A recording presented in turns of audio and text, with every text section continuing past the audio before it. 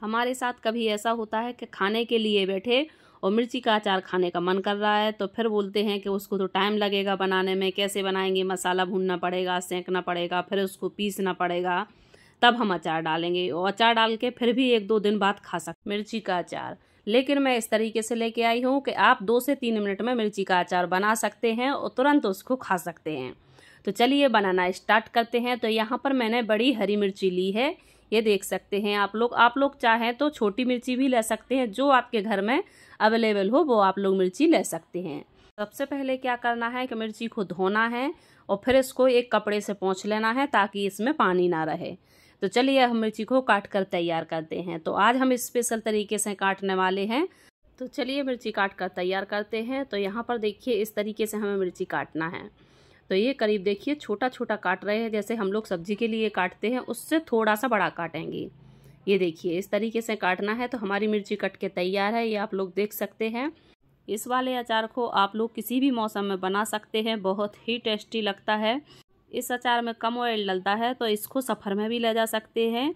तो चलिए, अब गैस की तरफ़ चलते हैं तो यहाँ पर मैंने पैन रख दिया है। पैन हमारा थोड़ा सा गर्म हो चुका है। गैस को हमने बिल्कुल लो रखा है, हाई नहीं करना है। अब इसमें चार पाँच टेबल स्पून सरसों का तेल डालेंगे। तो आप लोग ज़्यादातर सरसों के तेल में ही अचार बनाइएगा, उससे अच्छा टेस्ट आता है अचार का। तो यहाँ पर हमारा ऑयल हल्का सा गर्म हो चुका है तो अब हम इसमें एक टेबल स्पून सरसों के दाने डाल देंगे। अब इसमें हम एक टेबल स्पून सौंप डालेंगे। तो सौंप से अच्छा टेस्ट आता है, अचार में आप लोग ज़रूर डालिएगा। अब इसमें एक टेबल स्पून हम डालेंगे जीरा। इस समय पे हमें गैस को बिल्कुल लो ही रखना है, ताकि हमारे मसाले जले नहीं। अब इसमें एक टेबल स्पून डालेंगे अजवाइन। तो आप लोग मिर्ची के अचार में अजवाइन ज़रूर डालिएगा। अजवाइन का अच्छा फ्लेवर आता है मिर्ची के अचार में। तो अब इन सब मसालों को करीब दो मिनट हम इसी तरीके से सेंक लेंगे। तो यहाँ पर हमने दो मिनट सेंक लिया है। अब इसमें डाल देंगे थोड़ी सी हींग। हींग का भी अच्छा टेस्ट आता है। अचार में तो आप लोग ज़रूर डालिएगा। मसालों को लो गैस पे एक मिनट और सेंक कर तैयार करेंगे।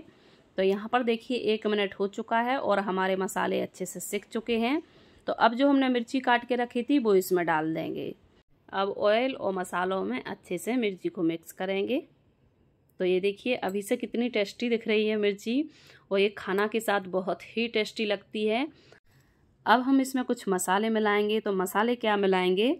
इसमें आधी टेबल स्पून हल्दी पाउडर डालेंगे। तो हल्दी पाउडर से अच्छा हमारी मिर्ची में कलर आएगा। अब इसमें आधी tablespoon Kashmiri red chilli powder डालेंगे। इससे हमारी मिर्ची में कलर भी आएगा और हल्का सा तीखापन भी आएगा। अब हम सारे मसालों को मिक्स करेंगे और मिक्स करते हुए करीब दो से तीन मिनट पका लेंगे। मिर्ची को हम पकाएँगे ना तो जो मसाले का फ्लेवर है ना, मिर्ची में आ जाएगा। तो इसी से मिर्ची का टेस्ट डबल हो जाता है, बहुत ही टेस्टी लगती है। अभी हमने इसमें नमक नहीं डाला है।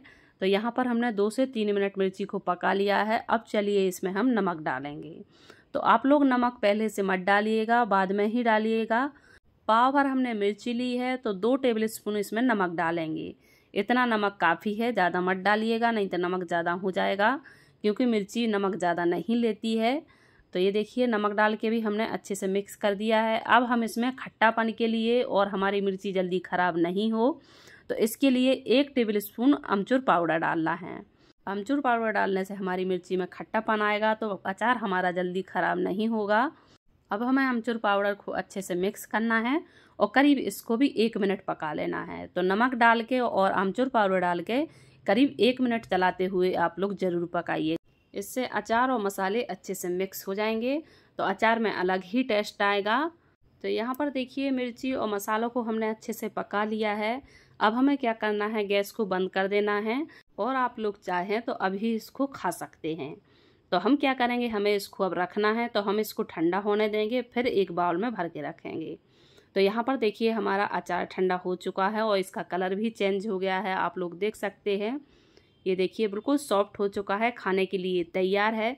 तो यहाँ पर मैंने सर्व कर लिया है। तो ये देखिए बहुत ही टेस्टी अचार बन के तैयार हुआ है। आप लोग अचार को ज़रूर बनाइए, बहुत ही टेस्टी बनता है। तो आपको ये वीडियो कैसा लगा कमेंट में ज़रूर बताना।